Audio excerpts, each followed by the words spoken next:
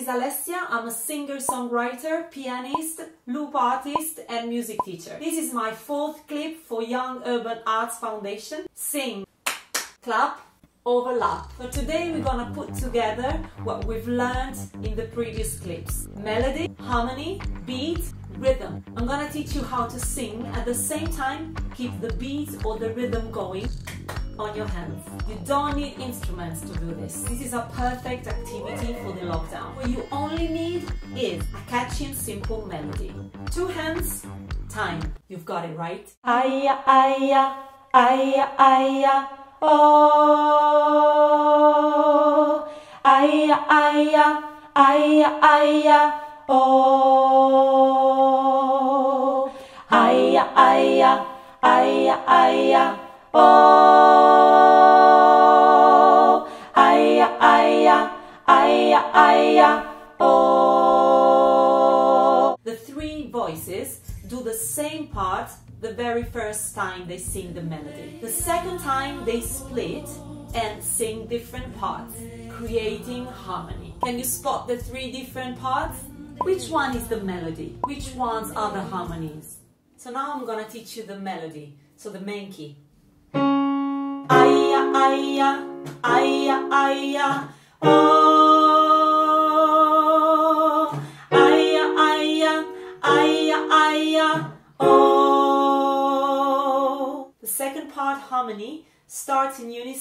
But then splits from the melody and becomes higher. Aya, aya, aya, aya, oh. Aya, aya, aya, aya, oh. The third part, again, starts in unison and then splits from the melody and becomes lower. Aya, aya, aya, aya, oh.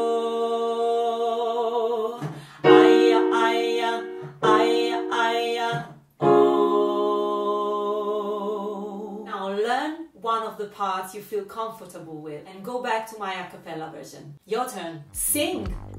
Let's get the rhythm going now. How can you sing and keep the beat or the rhythm going on your hands? I'm gonna teach you how.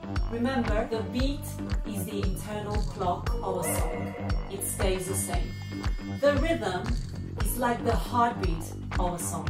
Let's learn the beat.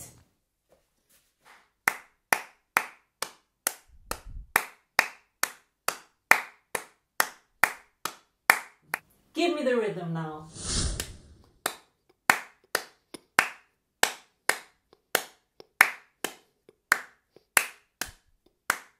Now the beat and the singing together. Remember the beat always stays the same. One, two, three, four. Aya, aya, aya, aya, oh.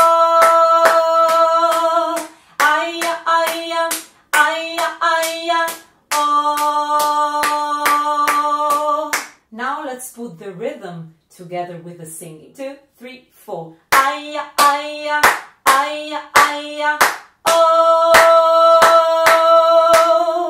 Aya, aya, aya, aya, oh. What you could do is practice the singing separately, then practice the beat, then practice the rhythm. You want to keep the beat going or do you want to keep the rhythm going? You want to use your hands or a drum?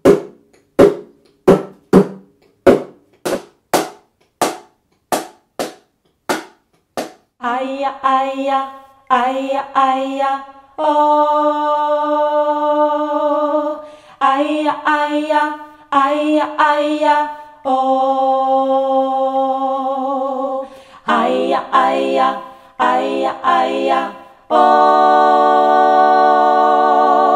Aya, aya, aya, aya,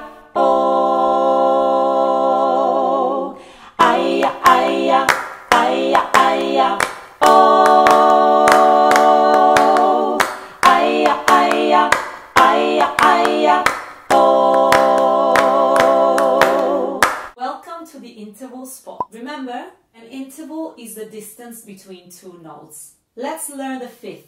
La, la.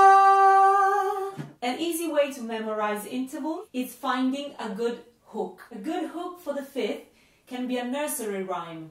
Twinkle, twinkle, little star. Twinkle, twinkle. That's the fifth interval. Twinkle, twinkle, little star. Wonder what you are. Did you know that you can make a homemade drum with tools that you find in your kitchen? Many things in the kitchen can be turned into drums as soon as they make a sound and they're not dangerous. Don't use knives. An empty food container. A colander, a jar or a can with rice or pasta in it. A pot with two spoons. Here is my how-to to make a homemade shaker. Drink your malt drink. Wash it. Fill it up with rice or pasta. Pull the top back, very important. Shake it. Today I'm gonna leave you with a music experiment made in the kitchen. I used my voice and tools from the kitchen. Cooking and making music is quite the same. Can you name all the tools that I used in my experiment? Can you spot the song? See you next time. Sing, clap, overlap. Thanks for watching and feel free to leave a comment or ask a question. Bye. Bye.